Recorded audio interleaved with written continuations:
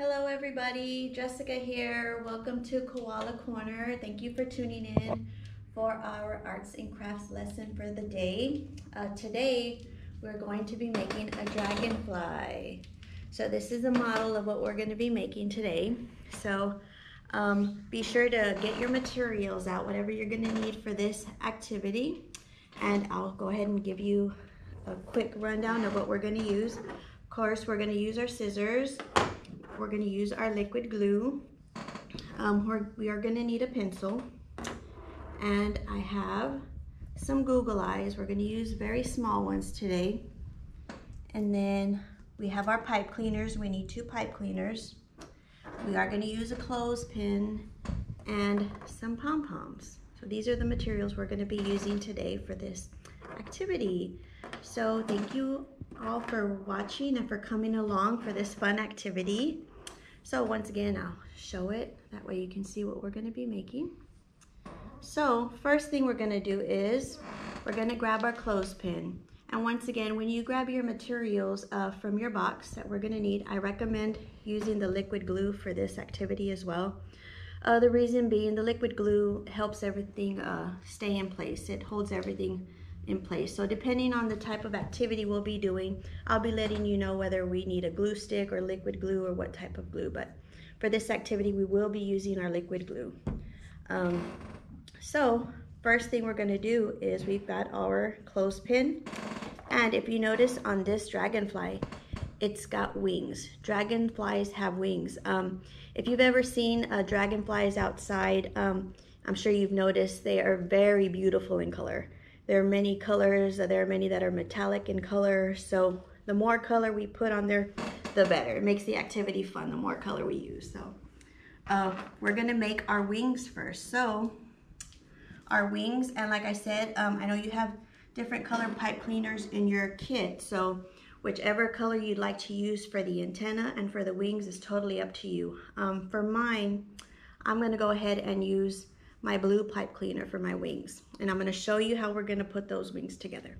We're gonna grab our pipe cleaner, we're gonna shape it into a circle like this, and we're just gonna twist it so that it makes a circle. So once you twist it together, it's gonna look like this, okay? And then once you have your circle, all you're gonna do is twist it in the middle one more time to make it stay together and that's going to give you the shape of your wing. So you're just going to twist it and you're going to end up with uh, wings. It's going to look like a bow, a bit like a bow. So this is what your wings are going to look like. So we started out, I'll show you one more time. So we started out with our circle and then we just grabbed it, twisted it together. Oops. I didn't do it tight enough. So when you do your activity, be sure you do it tight so it doesn't come apart like that. So let me do a little bit tighter so that we have our circle. And this will help, it'll, um, that way everybody can see once again. So we have our circle. We're just gonna twist it in the center and make our two. So there you go. Looks like a little bow. And we're gonna grab our pipe, our um, clothespin, I'm sorry. And then these wings are just gonna go as far down as you can get them in there. So this clothespin is going to be the body and we have our dragonfly wings. So there you go. So this is the first step.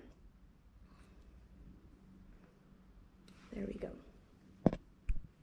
So I'll hold this one up again so you can see, you know, this is what we're gonna look like. And once we're done, you can shape them. If you want them um, more of a circle shape, you can. Pipe cleaners are very flexible.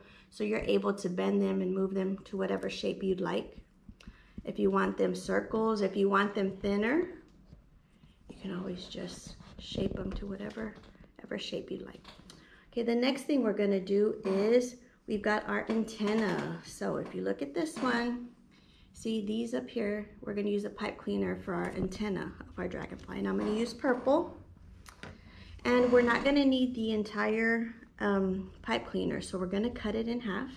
So we'll just fold it up so that we just have half. So we can always save the other half for another activity, you know, that you can hold on to. So this, we're gonna use half of it for our antenna. And if you notice on the clothespin, it's got a little um, hole right there in the top. So all we're gonna do is you're gonna slide it through there. So it's gonna look like that, that's the first step. And then we're just gonna twist it on the top. Like I said, pipe cleaners are very flexible. So if you give it a, a little twist, and then the pencil, we're gonna use our pencil to curl it. See? And you, once again, you can shape them any, position them any way you'd like. If you want them, you know, kind of sticking straight up, you can do that. If you want them um, facing in, facing out, it's totally up to you how you want to position them. So this is how we're going to do mine today. Okay, so as you can see, it's coming together. If you look at our model, look at our uh, project that we're working on, it's coming together. So the next step we're going to do is we're going to use our pom-poms and we're going to use four pom-poms. Um, I know in your in your packets, in your boxes, you have a shimmery one. Um, I like to use the shimmery one for the head. It just makes it stand out more. So I'm gonna use my shimmery one to for the head and then my other three for the body. But if you wanna use the shimmery one for the body, that's totally up to you. You can position them in any order and any color that you'd like. So I'm gonna start off with this one. And now we're gonna use our liquid glue. So we're gonna put on the head first, and I'm gonna face it to you so you're able to see. And be sure you put enough glue. Um, it's gonna drip on the sides, but that's fine. Um, this type of glue is easy cleanup, so it won't cause any damage to any type of surfaces. So that's gonna be our head. And then we're gonna do our next one uh, to make the body. I'm gonna use my purple one next. So same thing, put a big dot of glue there to hold it in place. And if you see once, um, if you didn't put enough glue, that's fine. You can always, it's very easy before it sets to dry, it's very easy to um, just pick it up and add some more. I'm gonna put the yellow one next because we need three to make our body. And the last one I'm gonna use is my dark blue one. So there we go. So once we glue all of those on, it's gonna look like this, okay? Then the last thing we're gonna do is put on our Google Eyes. I have some tiny ones, so you'll need your Google Eyes as well. Um, and we're just gonna use two. So these are gonna go, of course, on the uh, head of the caterpillar, I mean of the dragonfly. So here you go. So we see how they're positioned there. So we're gonna glue the first one. Just a quick fun fact about um, dragonflies. They're actually found all over the world. The only place you will not find dragonflies is in Antarctica.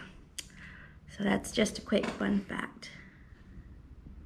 Okay, so that is gonna be the last step that we have for our dragonfly. And I'm gonna hold that up so you're able to see it. So here we go. This is what our final project is gonna look like. As you can see, um, we have our model and this is what it looks like. But like I said, you can put your whatever colors you want to use in whatever order. Um, it's totally up to you. Um, I want to tell you something really quick that you can actually use this for. If you can look at this one, let me show you. It's able to be used as a decoration. It'll stand up if you want to put it on a shelf or anywhere. Or um, you can always use a thumbtack to tack it on the wings and put it on the wall. And one really cool thing that you're able to do with something like this is always add a magnet to the back. If you add a magnet to the back and let it set to dry, it can always be made into a refrigerator magnet. You can put it on a file cabinet, wherever you'd like to put it. So there's a lot of fun things you can do with this once you're done with your final project.